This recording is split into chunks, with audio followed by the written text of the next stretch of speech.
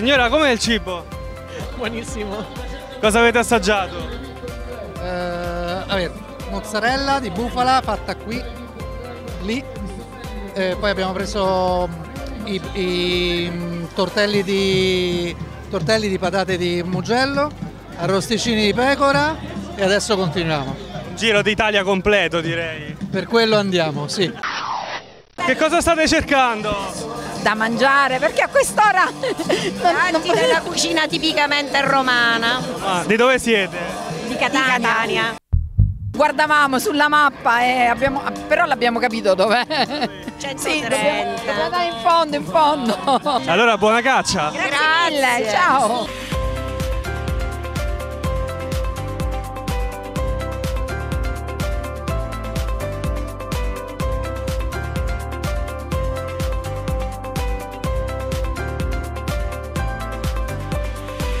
Ciao Ilaria, una bellissima cosa, leggiamo scuola di cucina, ci spieghi di cosa si tratta? Allora, si tratta di un'iniziativa di noi cuochi contadini che non so se conoscete, ma siamo appunto prima contadini e poi cuochi, quindi abbiamo tutte aziende agricole produciamo quello che poi andiamo a cucinare.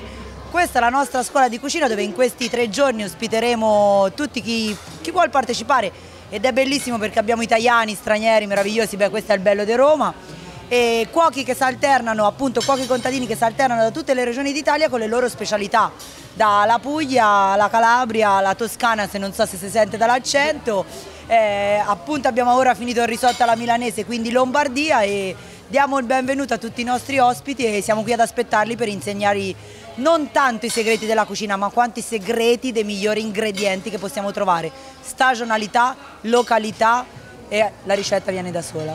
Senti, siamo in autunno, quindi qual è il piatto della stagione? Beh, allora guarda, è un autunno un po' anomalo perché abbiamo un caldo abbastanza importante, però abbiamo fatto un meraviglioso risotto alla milanese che è un piatto nazionale popolare.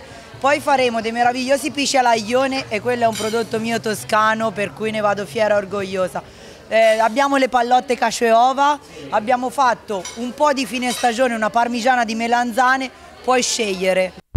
Sembra Masterchef, lo posso dire, cioè veramente i banconi così, c'è proprio il tempo, c'è una gara? No, no, non facciamo le gare. La cosa bella è che ognuno cucina poi quello che mangia e a volte sono moglie e marito, quindi c'è la disfida in famiglia, a volte sono mamma e figlio, c'è la disfida sempre in famiglia.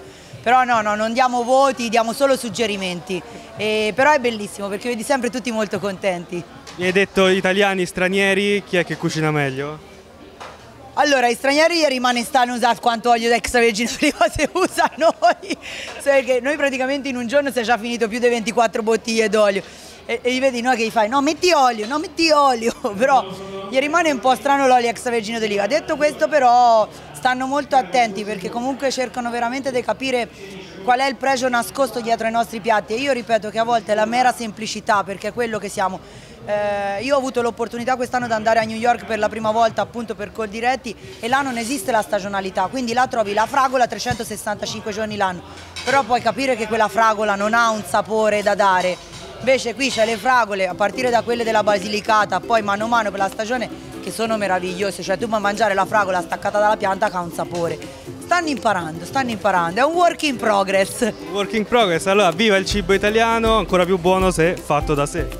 Viva il cibo italiano, viva la cucina italiana che è appunto candidata anche a patrimonio dell'UNESCO e ci sta e soprattutto quello che vi ricordo, territorialità e stagionalità.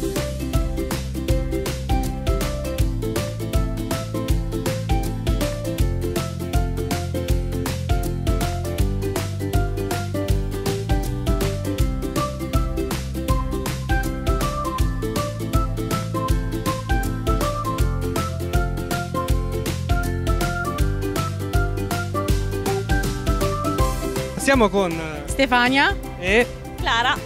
ciao ragazze, e da dove venite e cosa proponete qui al villaggio Coldiretti? Veniamo da Vetralla, eh, provincia di Viterbo e proponiamo eh, vari tipi di olio. Tipo, faccio un esempio. Eh, coltura, eh, DOP Tuscia e Caninese. Senti, qual è la particolarità del vostro olio? Beh, diciamo che eh, sono tutti ottimi oli, poi bisogna vedere insomma cosa, cosa piace, perché magari non tutti piace un sapore forte e, e quindi proponiamo un olio più delicato come il coltura. Senti, io l'ho assaggiato nella bruschetta, era davvero ottimo. Eh, tu lo consigli su quali altri tipi di prodotti? Su ogni cosa, guarda, abbiamo il cultura che può essere usato per cucinare anche sull'insalata. Con le altre due, diciamo, possono essere usate anche col pesce, la carne, l'insalata, dipende poi dal gusto. Senti, si parla molto dell'olio in questo periodo per i rincari, c'è tanta gente qui oggi, ti vogliamo chiedere quanta affluenza c'è, quanta gente si è affacciata Guarda, a chiedere i vostri prodotti? mm, eh, abbiamo avuto tanta, tanto- tanta richiesta, soprattutto de- dell'olio nuovo ovviamente, che ancora non abbiamo disponibile, però abbiamo anche venduto, diciamo, non ci lamentiamo. Perfetto, allora non ci resta che intingere un po' di pane in quest'olio buonissimo e, e niente, un ultimo consiglio da tavola? Ah, non lo so, non lo so. Assaggiamo e basta. A comprare insomma il nostro olio che è fantastico, anche quello nuovo, vi aspettiamo anche in frantoio per delle visite.